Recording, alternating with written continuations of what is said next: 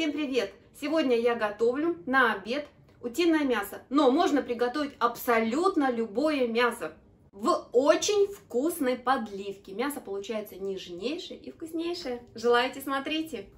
Для начала занимаюсь луком. Я взяла две большие луковицы, по весу 550 граммов получилось. Лук нарезаю ну, мелкими или средними кубиками, в общем, вот таким образом. Одну я уже изрезала. В разогретую сковороду с подсолнечным маслом. Масло у меня, ну вот, где-то столько, не знаю, может, 2 столовые ложки. Отправляю нарезанный лук весь. И на умеренном огне обжариваю до золотистого цвета. Иногда перемешиваю, чтобы не подгорал. Пока лук обжаривается, я нарежу мясо. У меня здесь утиные ножки, промытые, вот так. Я разрезаю, да, на две части. Килограмм, чуть-чуть побольше килограмма. Лук слегка подзолотился, но не совсем он стал сухой, немножко есть влажность. Где-то минут 5 я его так готовила, периодически помешивая. Теперь добавляю мясо все. Вместо утки можно взять мякоть говядины, свинины, нарезать кубиками, кусочками. Просто вот мне хочется утиное сделать. И обжариваю мясо вместе с луком, периодически помешивая. Мясо будет давать сок до такого состояния, чтобы кусочки были поджаренные. Сразу подсолю.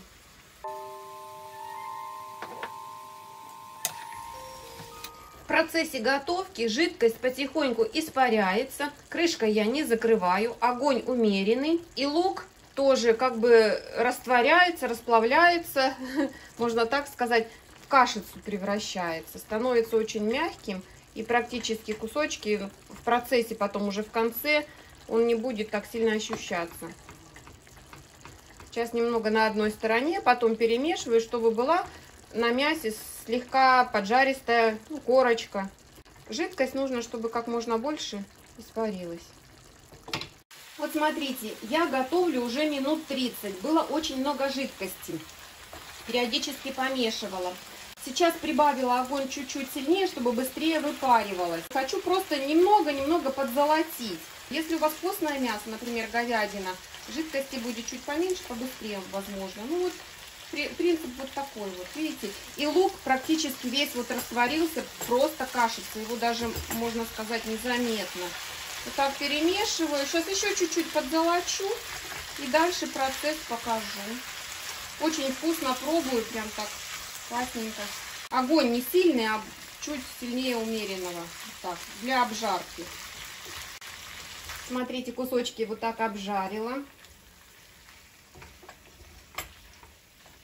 Румяные, золотистые. Лучок тоже такой не пережаренный, а просто такой коричневый. Вообще класс. Замечательно.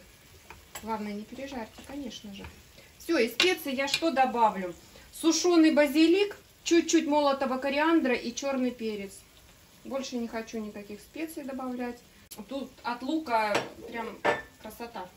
Вкус отличный. Добавляю воды. И добавляю кипяченый, горячий. Так, чтобы мясо скрыть. Пробую на соль если нужно. Да, нужно подсолить, потому что с водой уже разбавилось, хотя и мясо соленое. Лаврушечку. Чуть-чуть еще. В процессе готовки можно попробовать. Закрываю крышкой. И на умеренном огне можно чуть-чуть челочку оставить. Когда будет кипеть, может побежать. До готовности мясо готовить. В зависимости от того, какое мясо. Ну что ж, смотрим. Под крышкой я готовила, можно сказать, даже вот оно у меня вот так тушилось, потихонечку кипело. Я периодически ходила, открывала, помешивала. Жидкости видите сколько. Лук практически весь растаял. Его, можно сказать, не видно, а получается такая жидкость, да? Вкусно. Забрасываю укроп замороженный, можно свеженький. Сейчас минутку он перекипит растает и выключаю. Все, мясо просто мягчайшее. Ну, если более сильный огонь, может быть минут 40-45. Ну вот для утки мне понадобилось столько. Это уже на ваше усмотрение. Я прям э, хочу, чтобы мяско было все-все-все как бы отделялось от костей, его прям видно все. В общем, готовьте до такого состояния, как вам нравится. Все, гарнир приготовилась, сейчас будем обедать.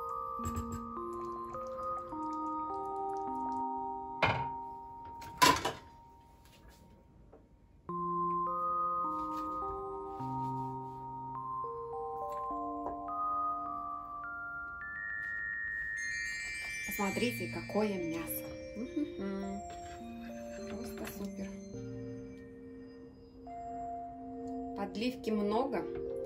Мясо тает во рту. Даже видно, все кусочки распадаются. Так, так, так. Давайте вот так еще.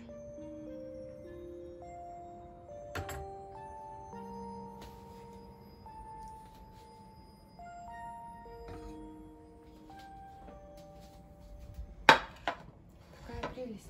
Смотрите, как мясо легко отходит от косточек. Даже и прикасаться не надо. Очень мягкое и нежное. Получилась уточка.